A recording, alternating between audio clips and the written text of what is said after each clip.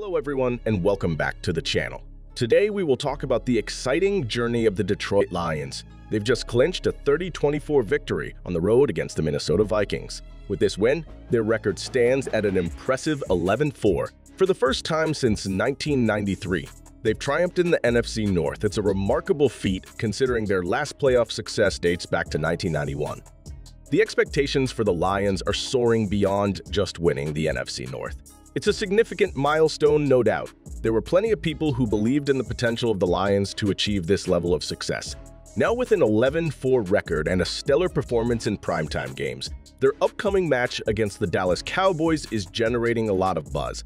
Especially after San Francisco's recent loss, Detroit is in the running for the top seed in the NFC. However, some critics still express doubts particularly about quarterback Jared Goff and the team's defense. I see their recent victory over Minnesota in a different light. Despite Minnesota's desperate need for a win, the Lions prevailed.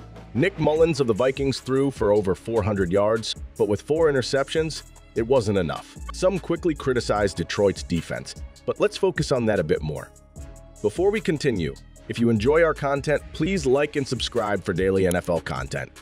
So let's break down the game. Detroit dominated possession time, controlling the ball for 38 minutes compared to Minnesota 21. Both teams had roughly 390 total yards, but Detroit's control over the clock was crucial. Despite some defensive shortcomings, they still put themselves in a position to win. Scoring 30 points, which ranks them in the top 5 for offense in the league, is not a minor feat. The defense, despite criticisms, contributed significantly with four interceptions.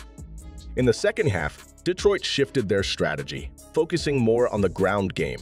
Jahmyr Gibbs and David Montgomery collectively pushed the Lions forward, adapting the game plan to maintain their lead. This change in strategy, especially in the third quarter, is part of Detroit's approach to limit the opposition's chances of a comeback. Finally, let's talk about the Lions' defense. Many are concerned, but it's important to remember the youth and potential of this group. They faced injuries like CJ Gardner-Johnson, but key players are set to return soon. This young defense is growing and learning together, which bodes well for their future. In the last game, we saw promising signs. For instance, Kerby Joseph and Brian Branch each made key interceptions. This shows the potential and progress within the team, indicating a bright future for the Lions. Let's watch this exciting team as they continue their journey in the NFL. Another standout is Mélèfoon Woo. In the last few games, he's been nothing short of exceptional. Particularly in the Minnesota game, his contributions were game-changing a clinching interception and two sacks. Considering the Lions' season-long struggle with sacks, Woo emergence is a big deal. He's in his third season and is rapidly becoming a key player to watch.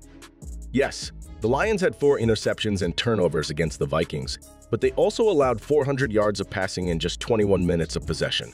It's a concern, but we need to see it in context. Defense isn't just about limiting yardage. It's about crucial plays. Interceptions, for example, can be decisive, especially against top teams like Philadelphia, San Francisco, or Dallas.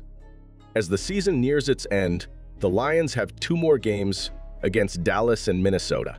These matches are opportunities for the team to continue improving and getting healthier. It's an exciting time for Lions fans, and the team's potential is becoming increasingly evident.